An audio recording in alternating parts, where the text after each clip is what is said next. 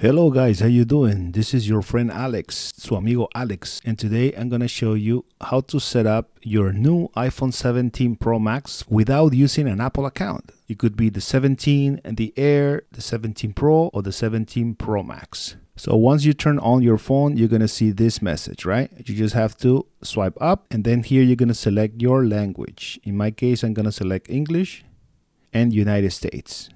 Here you have the chance to select how big you want the text to display on your phone. This is the default, this is the medium, and this is the large. I'm gonna keep it as default. Then you're gonna click continue. This screen is good if you want to set up your new phone with your old device. It says looking for a nearby device. I have an iPhone 13 here and you just saw how the new iPhone found the old iPhone and is trying to pair it and configure it based on what you have on your old iPhone. If I click continue, it's gonna give me this. So all I have to do is scan this code with my old phone and then I'm gonna start pairing it and so forth and so on. In my case, I don't want to do this because on this video, I'm gonna show you how to set up your iPhone for the first time without using an Apple account. So that's why I'm not gonna use this old device. I'm just gonna close this and now we are back to this screen. All right, so I'm just gonna click setup without another device. Here, I'm gonna select my Wi-Fi and I'm gonna put my password, okay? Because you do need internet. All right, data and privacy, you're gonna click continue. Age range, you're gonna select it for an adult. Face ID, you can configure this. I'm just gonna skip it. So click on setup later. From here, you have the option to create a passcode. I'm not gonna create a passcode. I'm just gonna click passcode options. And here I'm gonna select don't use passcode. Using a passcode is highly recommended. Don't use passcode. This screen is also very important because some people are moving from the Android to the iPhone. I have a video dedicated on how to move from the Android to the new iPhone. I'm going to put a link on the description. So this part, I'm not going to do anything. I'm just going to select don't transfer anything. And on this screen is where a lot of people get stuck. Why? Because they don't have an Apple account or they don't remember the passcode. For any reason that you don't want to sign in with an Apple account to your iPhone, you need to click on forgot password or don't have an account. Click there. And here you can select setup later in settings.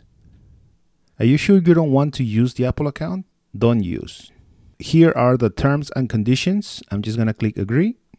Here you can set up your iPhone to update automatically or not. In this case, I'm gonna click continue and then iMessage and FaceTime. I'm gonna click not now. Location services, I'm gonna click set up later.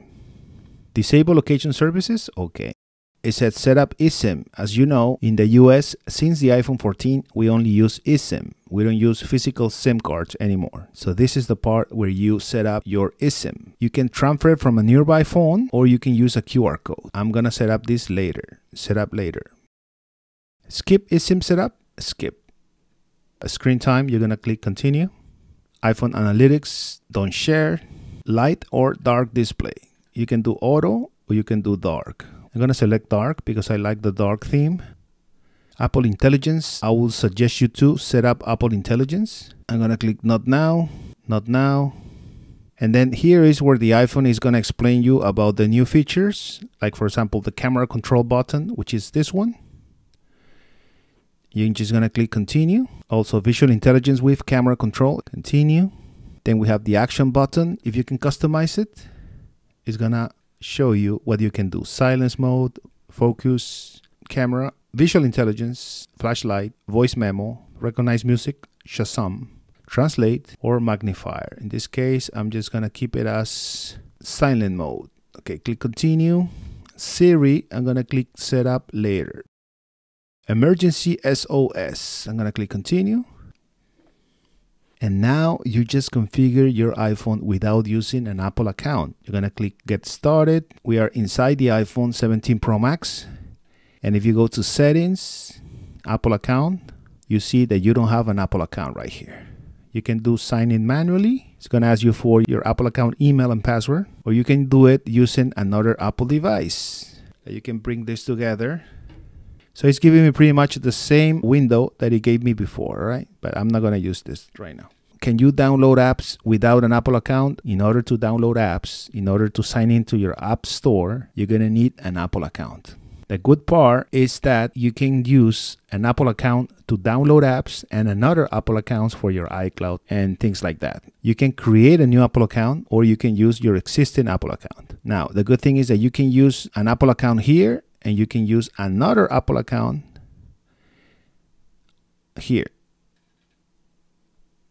you can use another one here. If you first log into the Apple account here, then automatically you're going to be signing to the App Store with the same Apple account, unless you sign out and sign in with another account, you know. And that's it, guys. Now you can take pictures and everything. Another thing, guys, every time you buy an iPhone on the streets via OfferUp, Facebook Marketplace, Craigslist, you need to configure it like this. You need to check if the camera is working and all the stuff, you know. And the only way you can check that is if you configure the iPhone so you can actually use it. If they want to scam you, they will try to sell you a phone that is not configured. It's actually on the first screen, you know, and you actually need to configure it right away without logging to an Apple account so you can see that this iPhone can be used. If this iPhone is logged to an Apple account, you will not be able to configure it like this. The first thing I will check if you're buying a phone on the street is the IMEI. You're gonna search it online and see if it's blacklisted or not. The website I use is called IMEI Check and you can search a lot of stuff on this website